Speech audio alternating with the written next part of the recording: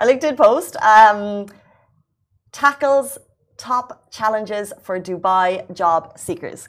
Mm.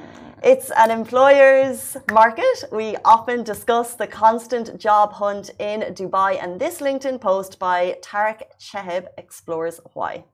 Well, the post reads as follows Most new people in my 25k plus LinkedIn network are looking for a job in Dubai. And what are your biggest struggles? Now, let me know in the comments so I can try to help.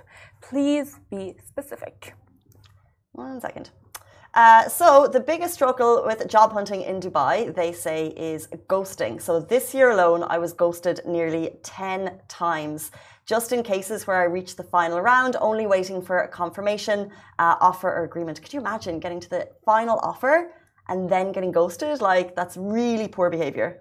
Well, other challenges, recruiters often aren't not responsive. Now, another user mentioned the difficulty of finding a job from abroad. Trying to secure a role from the UK feels like you must relocate, network, or on the ground and take a huge risk. Potentially spending a lot without any guarantee. It is tough. That would be a major risk. That is, by the way, for sure.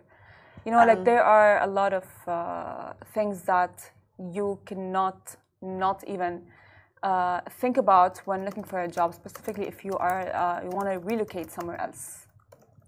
Um, there's also a lack of relevant opportunities, I would say, um, and this is one of the key points that was highlighted on the post. Uh, decisions are frequently based on job titles, uh, years of experience, or uh, rigid criteria uh, rather than skills and adaptability and growth potential. So this approach can overlook talented professionals and don't fit the traditional mold. True potential often goes beyond what's on paper. Um, the person responded, sometimes I feel like it's more about luck than ambition in Dubai. I had to leave the UAE because of it, unfortunately. I think that's a really interesting one that, like, hmm. when a hmm. CV goes in, um, people are looking at, you know, years of experience. Uh, and then it's really hard to kind of like understand the person, like, ambition should be everything, you know? And, and like, rather than just because you have two years with a big company's name mm-hmm. doesn't mean you're the best person for the job. and like, no personal fit and everything, that means more. I mean, I'll tell you something is that I think that when people are looking for a job on LinkedIn, I do understand the ghosting process because, like, for sure, everyone must have uh, been ghosted uh, in, in a way, which, by the way, I, I, I understand both ends as a recruiter, you for sure must have a lot of emails coming through, a lot of applications coming through, a lot of, a lot of, a lot of uh, things happening other than recruiting uh, someone. You know what I mean? Like as an HR or a recruiter, you have a lot of things to think of and deal with. Um, so I understand, but at the, same, at the same time, it's not maybe not the nicest. Maybe they can be like, "Hey, sorry, you are not a fit for that better luck next time. I don't know, like maybe a professional email to not make the uh, employee or who wants to get employed, I don't know, feel like neglected and let down in a way. Mm. But at the same time, I feel like for whoever is trying to get a job, they should not take anything personally.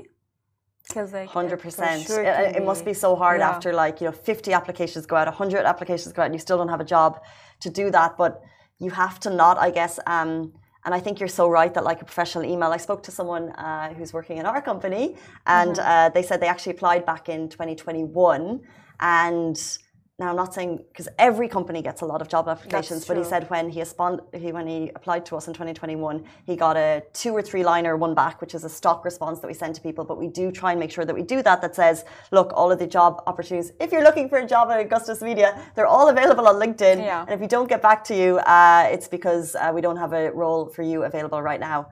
Um, but he said that interestingly, even that mm-hmm. gave you a little bit of hope because you know that uh, you're dropping your CV somewhere, and if the right opportunity comes up, it's going to come back. And his uh, industry was obviously in line with ours, and the right opportunity did come up three years later, which is amazing. Um, but he, it was nice to get that response. Now, I'm sure we've missed responses over the course of 10 years, mm-hmm. but having that one liner, I think, just shows that you're seeing people making the effort to apply, and it's nice to do that. But I think yeah. the ghosting here is like, when you're 10 interviews in. Mm. That's really cruel. That exactly. Like, for example, like I have a friend who uh, wanted to work for a very big company, and he had gone through a very hard um, interview process where like he, he he passed the first one he did the exam and passed it and then there was an, another exam and he passed it and then later on there was like a final interview um, and then they just like ghosted him and I'm like, and then he would follow up and they would not reply. Mm. Now that is kind of like cruel because like in a way that is not okay because then you, the person, it's very hard to, it's very hard like as a person when you are being ghosted to be like, okay, it's not a, it's not personal, it's, Not okay, me, it's not- them. It's very hard, exactly. It's very hard to be like, I'm gonna detach. You're not gonna detach. You're going to think about it. You're going to really uh, feel very. Um, you, you're gonna take it personally. So I think like that's the, the the best option to do. Is just like maybe try to apply again and again and again, and do not give up. Um, of course, it will for sure. It will come through when the right time is. When it's the right time, it will come through. What's for you won't pass you. Speaking 100%. of what's for you won't pass you, uh, we're so excited because the region.